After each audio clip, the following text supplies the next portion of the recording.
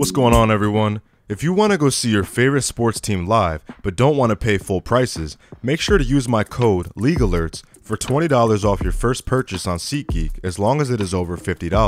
SeatGeek is not associated with any sports team, and you can use my code for any type of event. As always, before we get into things, be sure to like this video and subscribe to our channel to keep up with the latest uploads. Today's video is going to be on the 2009 NBA Draft, which included some great picks and of course some controversial ones too. With the number one pick in the draft, the Los Angeles Clippers selected Blake Griffin from the University of Oklahoma. Griffin played for the Clippers Summer League team and was named Summer League MVP. In their final preseason game, he injured his kneecap as he landed after a dunk, which ended up being diagnosed as a stress fracture. The knee wasn't recovering properly and he ended up getting season-ending surgery. His second year, technically considered his rookie year, he averaged 20 points and 14 rebounds and went on to win Rookie of the Year. Griffin was voted to play as a starter for the first time in the 2012 All-Star Game along with new teammate Chris Paul. But as his career went on, Griffin was plagued with injuries that just seemed to come at the most inopportune times, like during potential playoff runs. He stayed in LA until 2018 when he was traded to the Detroit Pistons in exchange for Avery Bradley, Tobias Harris, and Boban Marjanovic. Although he played well in that 2018 season, he was continually dealing with injuries that never really allowed him to be on the court much. On March 8, 2021, Griffin then signed with the Brooklyn Nets where he is currently on a one-year deal. The Nets are looking to get out of the play-in tournament and make noise in the playoffs as a potential 7 or 8 seed. With the second pick in the 2009 NBA Draft, the Memphis Grizzlies selected Hasheem Thabeet from UConn. Many analysts label Thabeet as one of the biggest busts in NBA history. He had a pretty disappointing rookie year and was assigned to the Dakota Wizards of what was at that time the D-League. In 2011, Thabeet was traded with a future first round pick to the Houston Rockets in exchange for Shane Battier and Ish Smith. He was then assigned to the Rio Grande Valley Vipers. In 2012, he was traded again with Johnny Flynn and a future second round pick to the Portland Trailblazers in exchange for Marcus Camby. He then proceeded to sign with the Oklahoma City Thunder in the offseason and bounced around different D-League teams throughout the league for years after. In 2017, he ended up playing for the Yokohama team in Japan, and his career fizzled out from there. He most recently played in 2021 for a Taiwanese league. It's safe to say the Memphis Grizzlies completely missed on this pick. With the third pick in the 2009 draft, the Oklahoma City Thunder selected James Harden from Arizona State University. We all know about James Harden.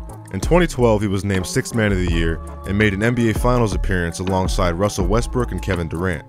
The Thunder traded him to the Houston Rockets ahead of the 2012-2013 season, where he won League MVP in 2018.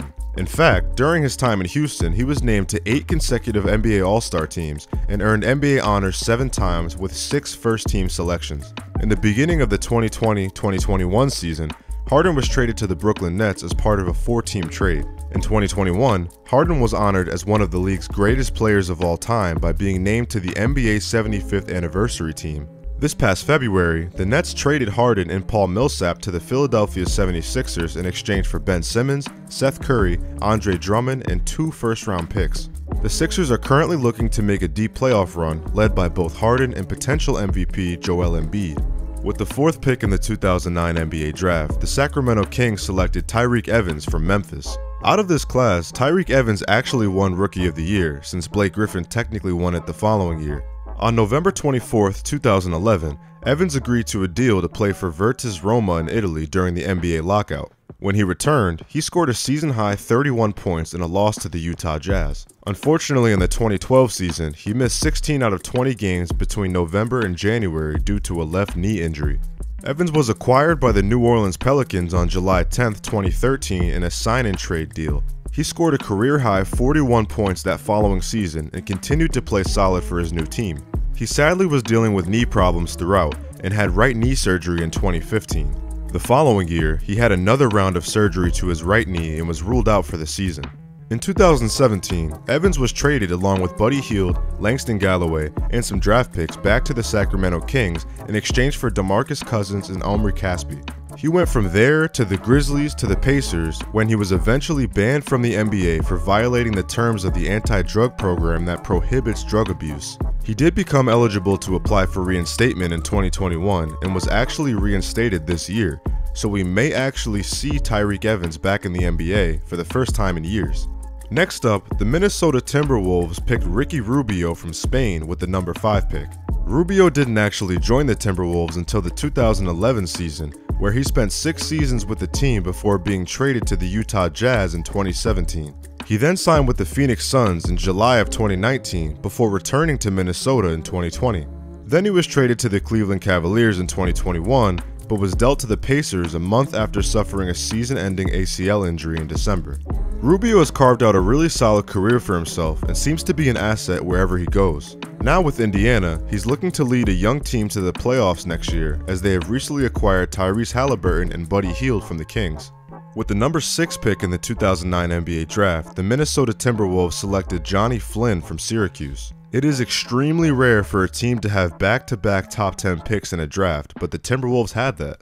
They decided to go back-to-back point guards with Rubio and Flynn, and considering who was drafted with the very next pick, it's safe to say that was a horrible decision. To be fair, Flynn's stats were solid for his rookie season, averaging 13 points and 4 assists per game. At the end of the season, Flynn was selected to the all-rookie second team. Unfortunately, he underwent hip surgery during the summer of 2010, which caused a decline in his production.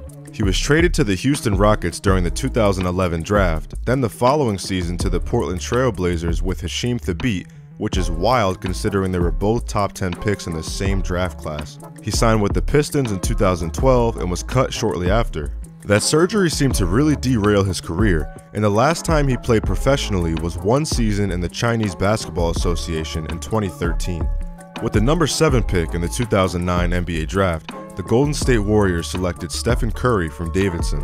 We all know about this babyface assassin. He lit it up in the NCAA tournament at Davidson, which led the Warriors to selecting him with the number 7 pick.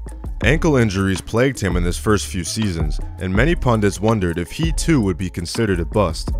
He only went on to become a three-time NBA champion, two-time league MVP, 2022 All-Star Game MVP, 8 All-Star selections, 7 All-NBA selections, and broke the record for first all-time in three-pointers made in NBA history. And he's definitely not done yet. I don't think much more needs to be said about Steph, except for the fact that the Timberwolves fumbled this draft extremely hard. Imagine what could have been. Up next, at number 8, the New York Knicks selected Jordan Hill from Arizona. Although the Knicks drafted Hill, he was traded to the Houston Rockets just 25 games into his rookie season. He was traded with Jared Jeffries in a three-team deal that also sent Tracy McGrady to the Knicks. At the trade deadline again in 2012, Hill was traded to the Los Angeles Lakers for Derek Fisher and a first-round pick. He played in seven regular season games, averaging 4 points and 4 rebounds per game. The Lakers had a pretty bad year in the 2012-13 season, but Hill was known for his hustle, which was certainly lacking on that team. Hill suffered a major injury when Kobe Bryant inadvertently stepped on his foot, which caused him to pull his hip. Surgery was required after doctors found loose fragments and a possible labral tear. His rebounds per minute average was among the league's best at that time. In 2015, Hill signed with the Indiana Pacers and then the Timberwolves the following season. He was most recently a part of the North American Premier Basketball League for the Nevada Desert Dogs. I definitely wouldn't call Jordan Hill a bust, but like many players with high expectations, injuries prevented him from reaching his true potential in the league. Next up, with the number 9 pick in the draft, the Toronto Raptors selected DeMar DeRozan from USC. DeRozan spent only one year at USC before entering the draft, and he started playing well right away. He entered the slam dunk contest in 2010 where he lost in the final round to Nate Robinson, but the final percentage was 51 to 49 in favor of Nate. He had a 37 point game against the Houston Rockets and showed off his athleticism night in and night out. His first All Star appearance was the 2013 14 season. Then in 2015, he helped the Raptors win their first playoff series in franchise history, scoring 30 points in Game 7 against the Indiana Pacers. In the next round, he scored 34 in another Game 7 as they beat the Miami Heat to advance to their first conference finals. Unfortunately, LeBron and the Cavs took them out to advance to the finals, but it was an unprecedented run for the Raptors, led by DeMar DeRozan. DeMar was traded to the San Antonio Spurs in 2018 along with Jakob Poeltl and a first rounder for Kawhi Leonard and Danny Green. The Raptors won their first NBA championship that very next year, with DeMar being labeled the sacrificial lamb in many people's eyes. He played decent for the Spurs, but it's hard to be a dominant superstar in a system as team-oriented as Gregg Popovich's. In 2021, DeRozan was traded to the Chicago Bulls, where he is currently having an MVP caliber season and putting up the best numbers of his career. It's safe to say DeMar was an excellent draft selection and has lived up to the hype of a top 10 pick. It'll be interesting to see how the Chicago Bulls perform in this year's playoffs since the franchise hasn't done much of anything since the departing of Michael Jordan. Last but not least, the Milwaukee Bucks used the 10th pick in the 2009 NBA draft to select Brandon Jennings out of Italy? Brandon Jennings was initially set to join USC. Instead, he committed to the Arizona Wildcats, but in June 2008, he announced that he would become the first American player to skip college to play professionally in the EuroLeague. The NBA requires players to be at least 19 years old and one year removed from high school before entering the league, so he couldn't enter the 2008 draft. After playing in Italy for a year, the Milwaukee Bucks selected him with the 10th overall pick in the 2009 draft. In just his seventh game in the NBA, he scored 55 points in a win over the Golden State Warriors, becoming the youngest player to ever do so. He started all 82 games as a rookie and led the Bucks to the playoffs for the first time in 4 seasons. He ended up finishing third in Rookie of the Year voting. In 2010, he recorded his first triple-double, but broke his left foot when he landed awkwardly. Despite the injury, he actually finished the game and played 30 minutes the following game. Jennings was set to hit restricted free agency at the end of the 2012-2013 season, but the Bucks paired him with Monta Ellis, who was acquired at the 2012 trade deadline. Milwaukee returned to the playoffs for the first time since Jennings was a rookie. During those playoffs, they were an 8 seed. Jennings came up with his famous catchphrase, Bucks and 6. Despite being swept by the Miami Heat, the phrase became prominent after the Bucks won the 2021 NBA Finals in 6 games. In 2000, carved out a pretty solid career for himself and definitely had his moments. One of the most impressive things about him that a lot of people don't. Thank you so much for watching. Be sure to give this video a like and follow League Alerts on Instagram, Facebook, and Twitter for the best NBA coverage out there.